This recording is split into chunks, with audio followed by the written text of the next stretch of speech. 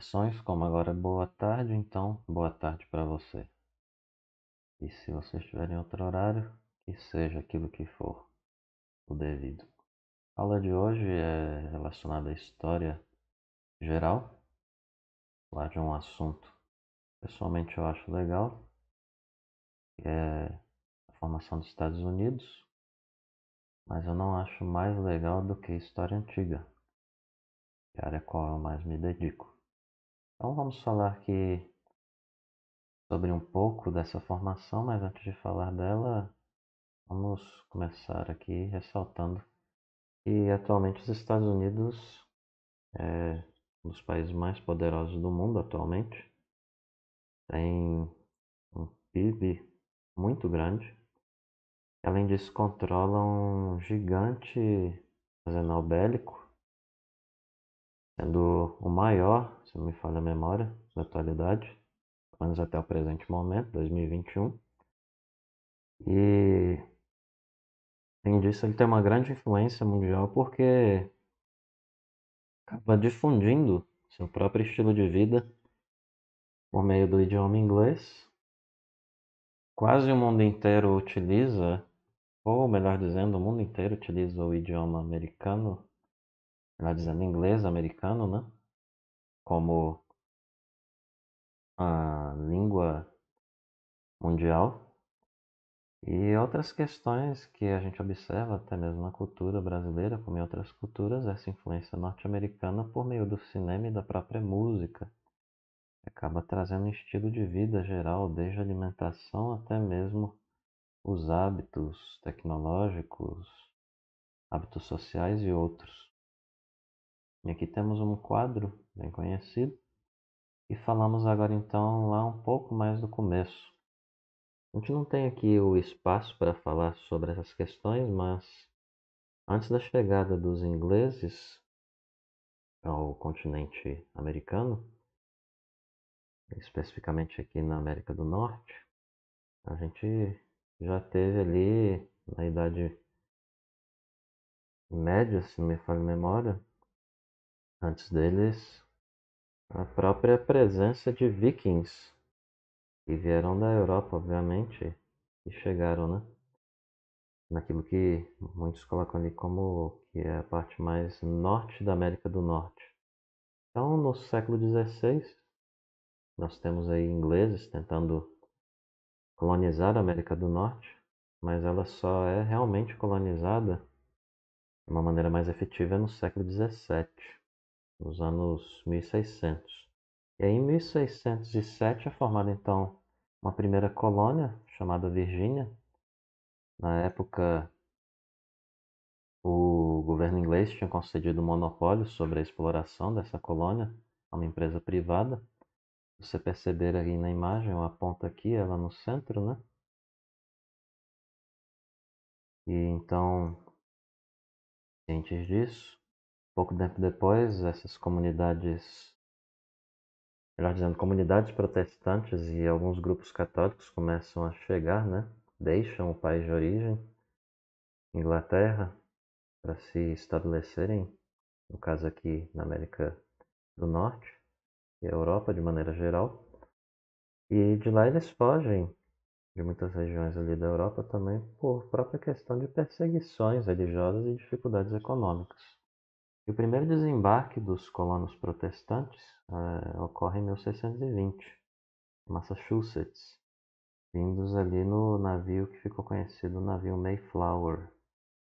De acordo com esses com Leandro Carnal, esses primeiros colonos, ele traz aí uma descrição, uma afirmação, melhor dizendo, dizendo o seguinte: Pais peregrinos, os Pilgrim Fathers são tomados como fundadores dos Estados Unidos. Não são os pais de toda a nação, são os pais da parte, falando em português mesmo, né? WASP, em inglês, White Anglo-Saxon Protestant, ou seja, o branco anglo-saxão protestante dos Estados Unidos. Esses grupos eles se estabelecem em diferentes áreas na costa leste, né? Onde foram construindo as novas colônias. E uma dica aí Você lembrar o que é leste, oeste?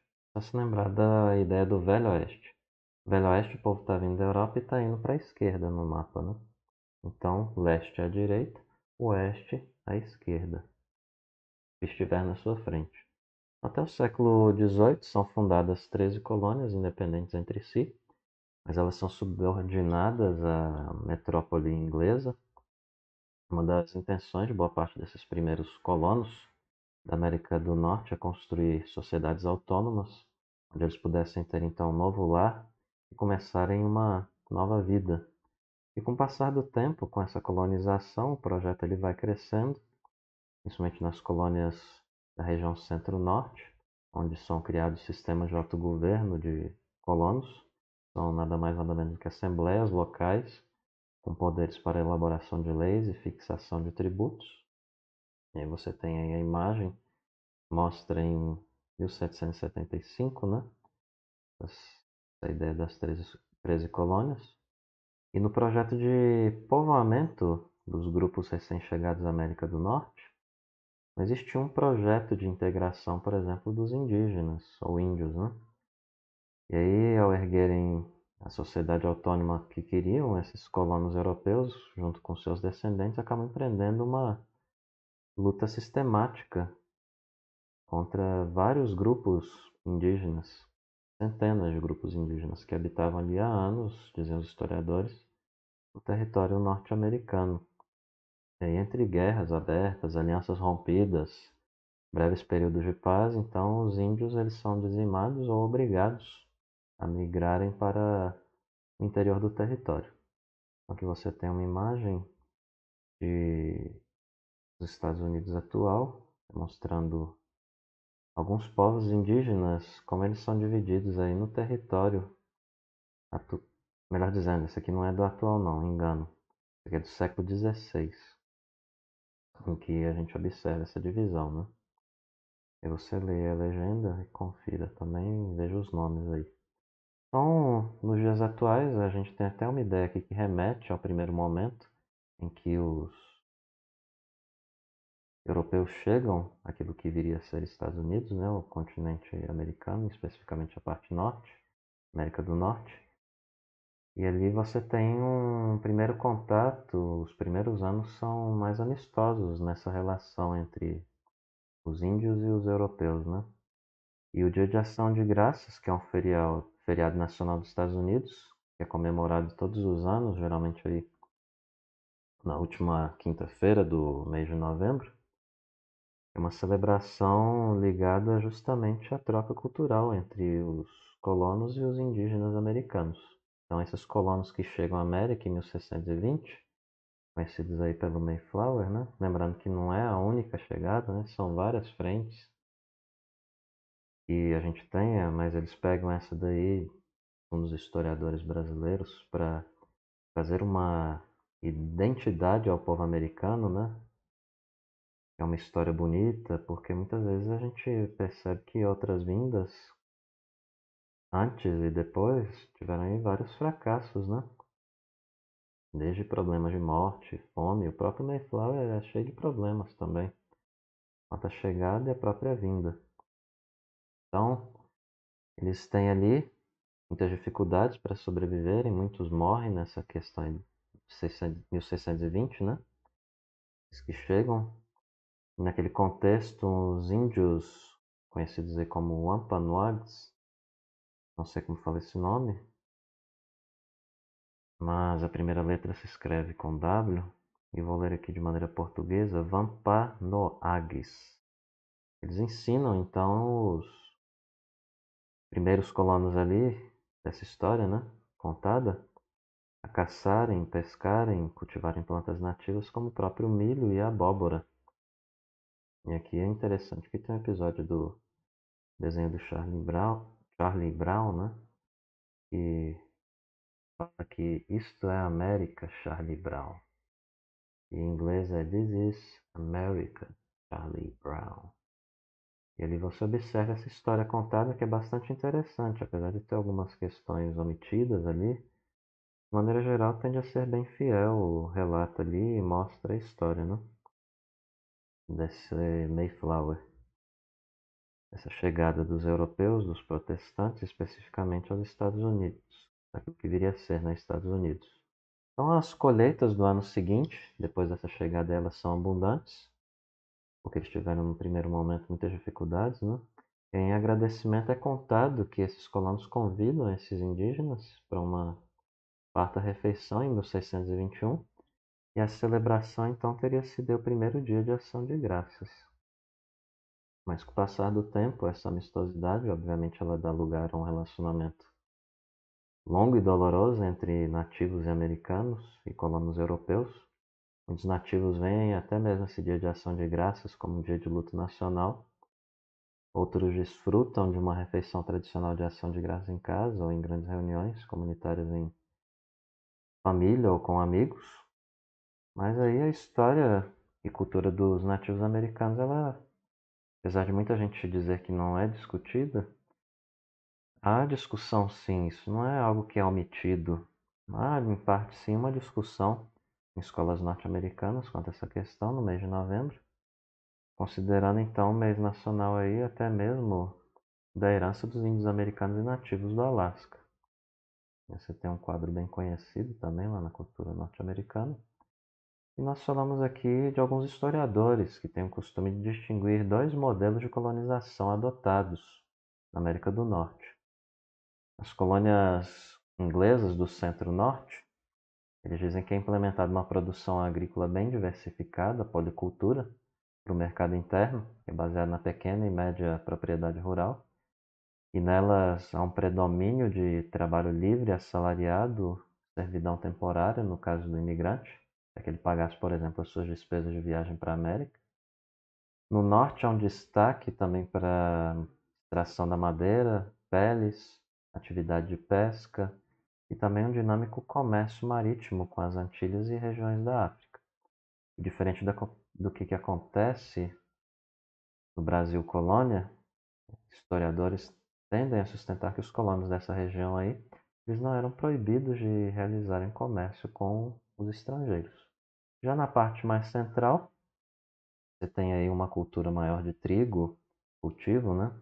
Cevada também, centeio, criação de bois, cabras, porcos.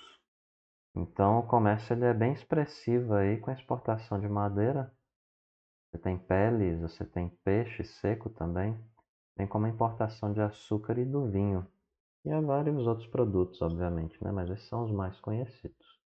E nessas duas regiões, a central e a norte, nós temos ali também um desenvolvimento de colônias mais autônomas, né? relativamente autônomas, acabam escapando da intensa exploração colonial, de acordo com alguns historiadores, apesar de ter historiador que não gosta de falar que Estados Unidos é uma colônia de povoamento, enquanto que as colônias espanholas e portuguesa ou portuguesas, elas são de exploração, né?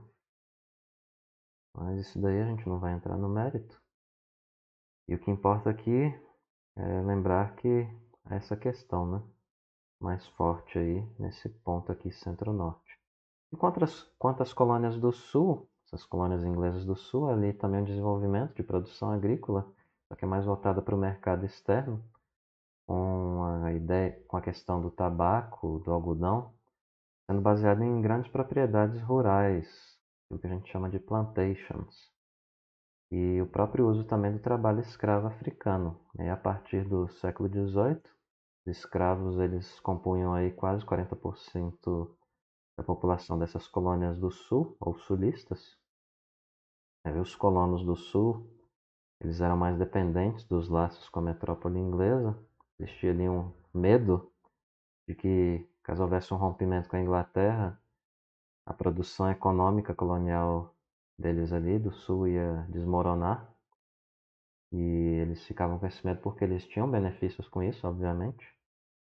Mas quando esse processo de independência ele começa, muitos desses colonos aí acabam até mesmo mudando de posição, participando do movimento de independência, na perspectiva até mesmo de continuarem exportando os produtos, né? mas acima de tudo o algodão, com a vantagem de não terem que pagar taxas impostas pelo governo inglês, caso houvesse essa liberdade, né?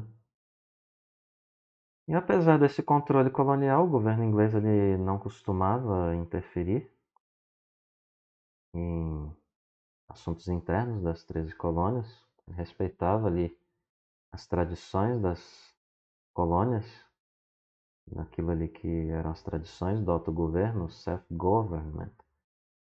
E esse cenário ele muda no século XVIII, quando a Inglaterra começa a fazer algumas imposições a essas colônias, proibindo, por exemplo, a implantação de fábricas que viessem a concorrer com a indústria inglesa.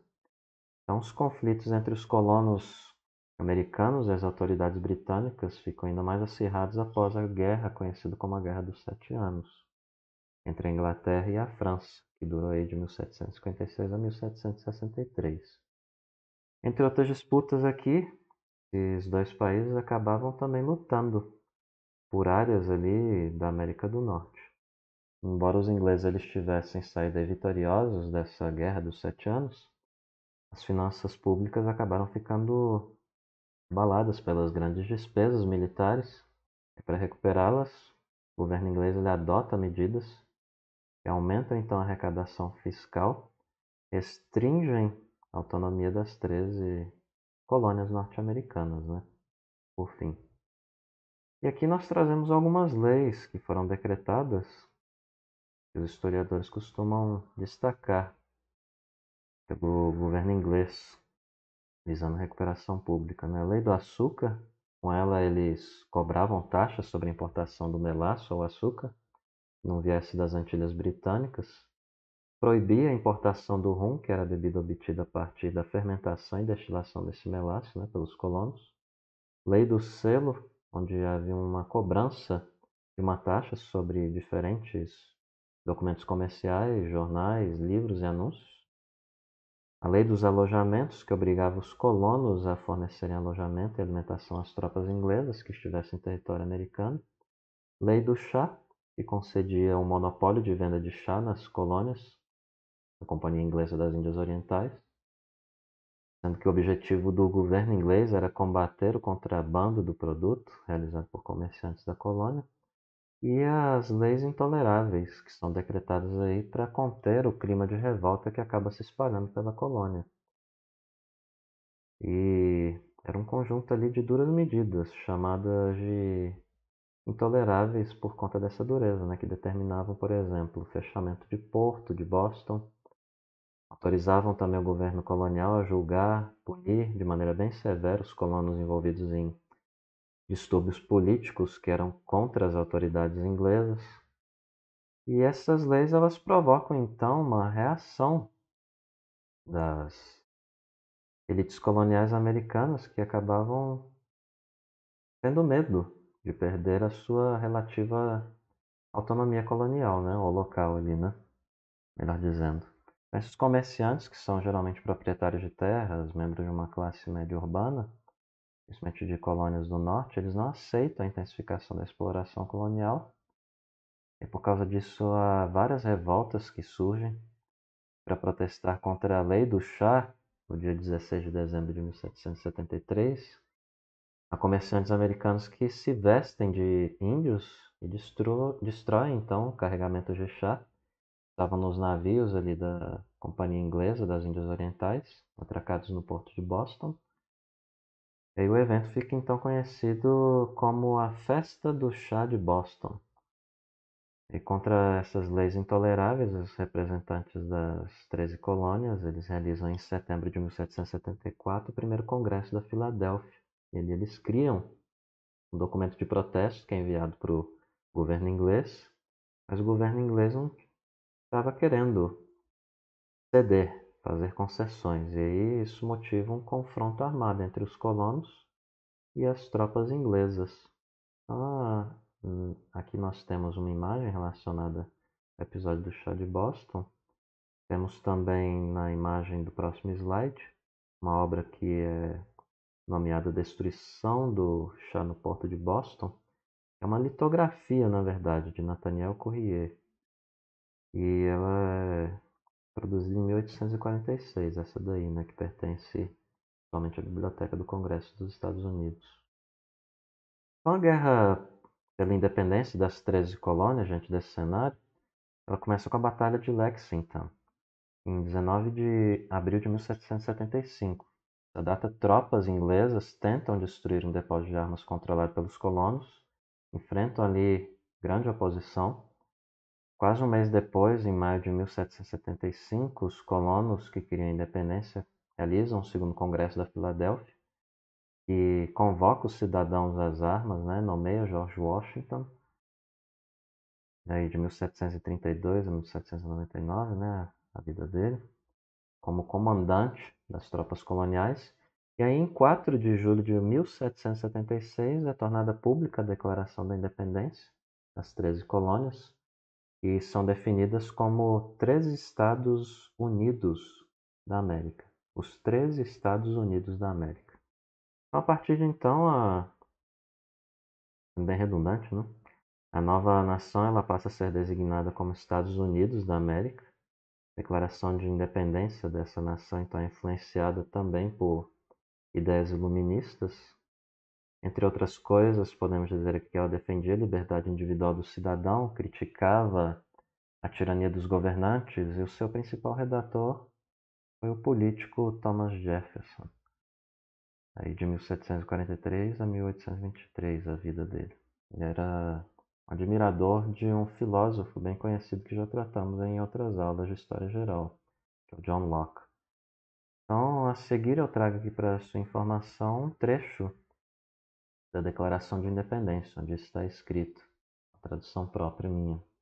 Nós consideramos que essas verdades são evidentes por si mesmas, que todos os homens são criados iguais, que são dotados por seu Criador com certos direitos inalienáveis. Entre estes estão a vida, a liberdade a busca da felicidade.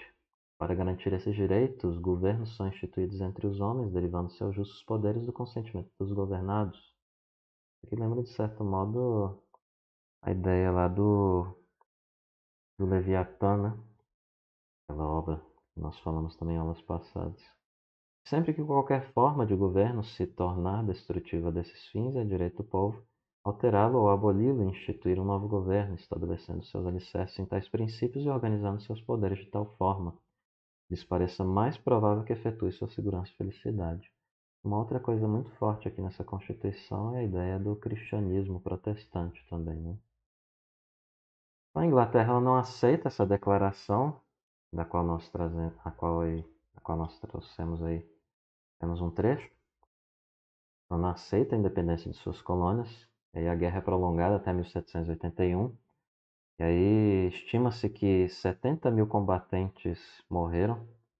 E nesses conflitos aí nós destacamos dois momentos principais. Um primeiro, onde as tropas dos Estados Unidos lutam praticamente sozinhas contra as forças inglesas, e um segundo momento, onde as tropas os Estados Unidos da América contam com a ajuda financeira e militar de governos como a França, Espanha e das Províncias Unidas, que dizem respeito à atual Holanda. Aí a participação das tropas, tropas francesas é decisiva, então, para garantir a vitória das tropas coloniais. E aí, no dia 19 de outubro de 1781, o último exército inglês é derrotado em Yorktown. A guerra ela acaba, mas o governo inglês reconheceria ali de maneira oficial a independência das suas três colônias só lá em 1783. E a Estátua da Liberdade, então, ela é um ponto importante que mostra um pouco também dessa cultura norte-americana que eles prezam, né? Foi criada no estilo neoclássico, ali na cidade de Nova York, né? New York. Ela é feita pelos franceses Frédéric Auguste, Auguste Bartholdi e Gustave Eiffel, que é o projetista, né, o nome aí, da própria torre conhecida lá em Paris, né? Estátua, então, ela é presente do governo francês em homenagem a esse centenário da independência, né? Dos Estados Unidos. Ela é inaugurada em 1886 na cidade de Nova York logo vira símbolo do país. Em uma das mãos, ela, a gente vai observar aqui na imagem seguinte, caso alguém não saiba, porque eu acho que é muito difícil, né? Não saber. Em uma das mãos ela tem ali uma tábua com a inscrição 4 de julho de 1776, que é a data da declaração da independência, e na outra mão, que é estendida para o alto, né? Temos ali uma tocha folheada a ouro, que representaria então o princípio de iluminar o mundo. Está aí mais claramente, né? E a Constituição dos Estados Unidos, então, ela é promulgada em 17 de setembro de 1787, esse é o documento original, primeira página. We the people, nós o povo, né?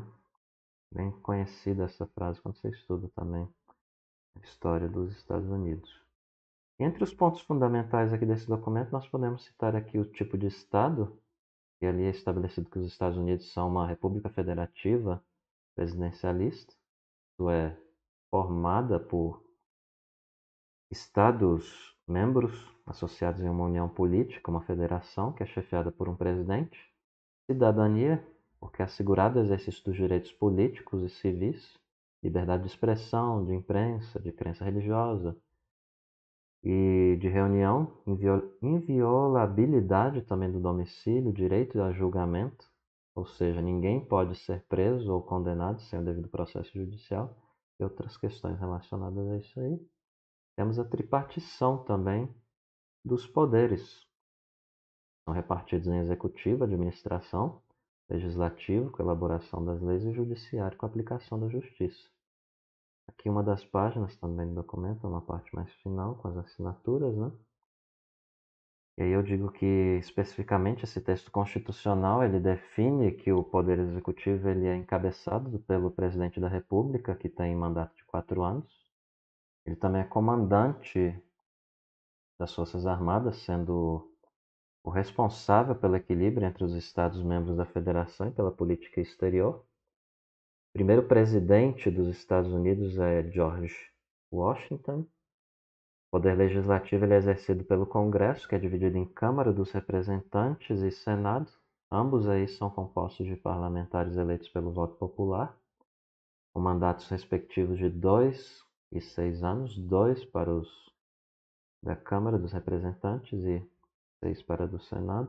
O Poder Judiciário ele tem então como principal órgão a Suprema Corte e a função aí é garantir o cumprimento da Constituição. E embora a Declaração dos Estados Unidos de Independência ela afirme logo no seu começo, né, que todos são criados iguais, são dotados por Deus de certos direitos fundamentais, essa proclamação ela sofre uma forte crítica desde a época em que foi escrita até os dias atuais, né? Porque a alegação aí, a afirmação, a asseveração de que ela não se aplica a todos, seja imediato ou a longo prazo, né? Imediatamente ou a longo prazo. E aí vários grupos sociais, eles tiveram que lutar então, há grupos sociais que buscam até hoje lutar, seja isso por suposição ou não, alegação que não há, né? Enfim, você interprete aí com a sua própria mente uma busca desses povos aí por igualdade e garantia dos direitos, né? Mas algo aí que a gente pode destacar é que a escravidão africana ela foi mantida, título de informação, até a Guerra de Secessão. Está relacionada ali com a figura de Abraham Lincoln. E essa guerra ela dura de 1861 a 1865. E ali então há um outro documento muito importante também assinado que está relacionado a essa questão dos direitos aí e liberdade, questão de abolição de escravidão, essa temática aí que tem um paralelo também bem interessante com a história brasileira, né? Então, os líderes da independência dos Estados Unidos, eles não trataram uma questão que afetava, de acordo com alguns pensadores, mais de, milhão de, de meio milhão de negros que viviam nesse regime de trabalho escravo. E aí há uma crítica, por exemplo, à própria figura do Thomas Jefferson, que era um grande proprietário de escravos, embora na teoria ele fosse anti-escravista e abolicionista. E indígenas também, há pessoas que ressaltam isso. Também não tiveram os mesmos direitos à vida, à liberdade, à busca da felicidade, que são garantidos ao que eles dizem que são para os brancos, né? Esses benefícios são dos brancos. E após a independência, muitos povos continuam sendo massacrados dentro dessa perspectiva, né? Lembrando que essa não é a única perspectiva para a interpretação da história norte-americana, mas pessoas que dizem, enfatizam muito isso, né? A meu ver, isso aí pode acabar trazendo mais divisão, dependendo do contexto e maneira como se fala essas coisas. É necessário muito cuidado ao tocar nesses pontos aqui, que são pontos bem delicados, sejam eles na história Estados Unidos ou do próprio Brasil, né? São mulheres estadunidenses também, né, nessa perspectiva aí, geralmente é proclamada para o vestibular essas questões, é dito que elas também não tinham os direitos civis dos homens brancos, né, da sociedade patriarcal, que é isso, aquilo, machista. Enfim, não vou entrar aqui no mérito. Mas elas dizem que o direito do voto aí, das visões, né, só é reconhecido quase 140 anos depois. Naquela época a mulher era, dentro dessa interpretação aí, eles diziam que aquelas mulheres lá, pessoa que faz a leitura hoje para lá para trás, né, que os homens viam as mulheres naquela época como frágil e por causa disso elas deveriam ser sujeitas, né? subordinadas ao poder masculino e coisas assim. Então a cidadania de maneira plena, há estudiosos que vão dizer que ela é exercida apenas por homens brancos adultos, né? Relacionado àquilo lá que o Leandro Carnal, na citação, disse lá no começo dessa aula, né? Você também pode discordar daquilo lá, né? que é a sigla WASP, WASP. E é uma interpretação que tende a trilhar aí muito com a ideia de classes e coisas do tipo, que é comum numa interpretação mais marxista, né?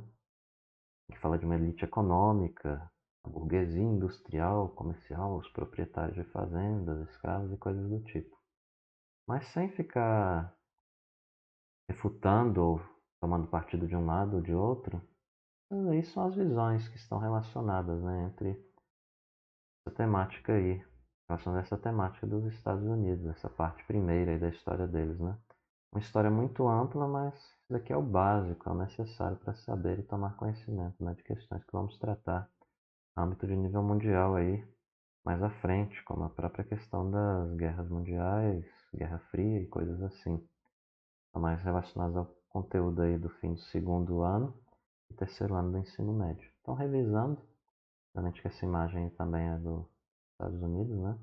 Falo da memória, isso aqui é do Arizona, é deserto do Arizona. Eu trago aqui algumas questões.